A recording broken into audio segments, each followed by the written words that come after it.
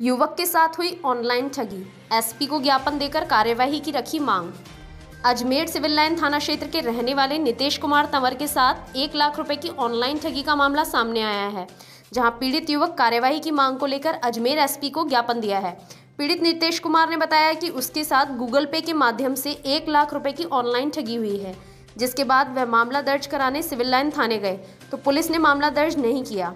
जहाँ वे आज अजमेर एसपी को ज्ञापन देने आए हैं और मामला दर्ज कर कार्रवाई करने की मांग रखी है।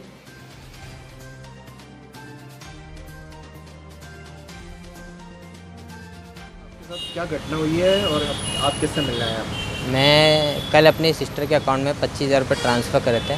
ट्रांसफ़र फेल हो गया था वो। मैंने गूगल पे पे कस्टमर पे पे फ़ोन लगाया। उन्होंने कहा आपके मेरे एक अधिकारी का आपके फ़ोन नंबर पे फ़ोन आएगा। और जैसा वो प्रोसेस बताते वैसा करिए। जैसा उन्होंने प्रोसेस बताया मैंने वैसा किया लेकिन जितना अमाउंट मेरे खाते में था करीब निन्यानवे हज़ार आठ सौ छब्बीस रुपये ऑनलाइन उनके ट्रांसफ़र कर लिए उन्होंने।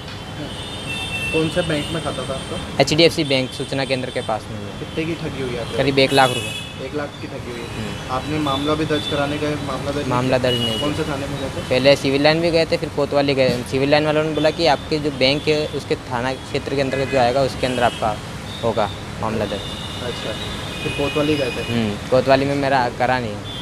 आप किससे मिलने आए आज? एसपी ऑफ़िस में आया था अर्जी देने की हमारी कार्रवाई की जाए कहाँ रहते हैं आप? Civil line. आपका नाम क्या है? नितेश कुमार तंवर।